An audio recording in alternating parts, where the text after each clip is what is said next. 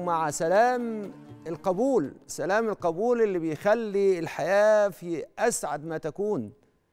وإحنا قلنا قبل الفاصل إزاي في خمس نظارات بتيجي على عين القلب تخلي الإنسان ما يقدرش يعيش بسلام القبول.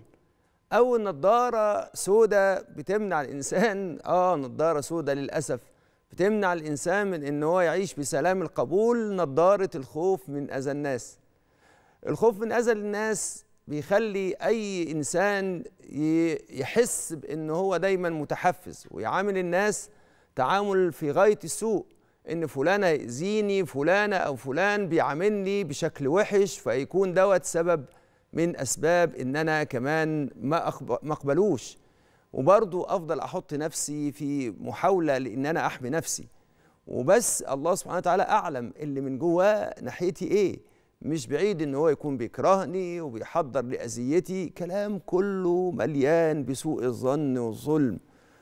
وبننسى خالص إن إحنا عايشين في أمان الله. واعلم أن الأمة حديث رسول الله صلى الله عليه وسلم الجميل اللي بيخلي الناس تعيش في أمان واعلم أن الأمة لو اجتمعت على أن يضروك بشيء لن يضروك بشيء إلا بشيء قد كتبه الله لك. يبقى أنت لازم تعرف إن أنت في أمان الله. فالنضارة دي ما تقدرش تعيش فيها.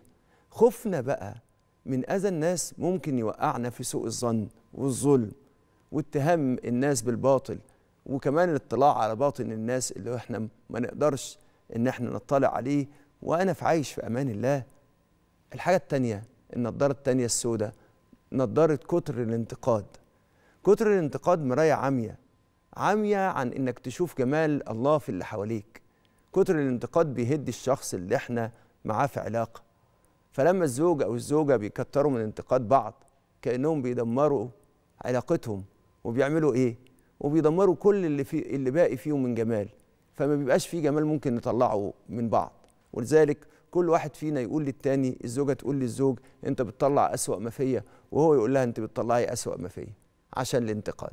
ويا سلام بقى لو ما يكون المدير كيفه ومزاجه كتر الانتقاد ويعيش الانتقاد مع الموظفين والموظفين من وراه برضه يقعدوا ينتقدوه ولا ده يعمله مدرس مع التلاميذ ولا يعمله الأستاذ مع طلابه والدكتور مع طلابه وكل واحد فيهم ينتقد التاني فما حدش فيهم ابدا يشوف أي نور ولا أي جمال.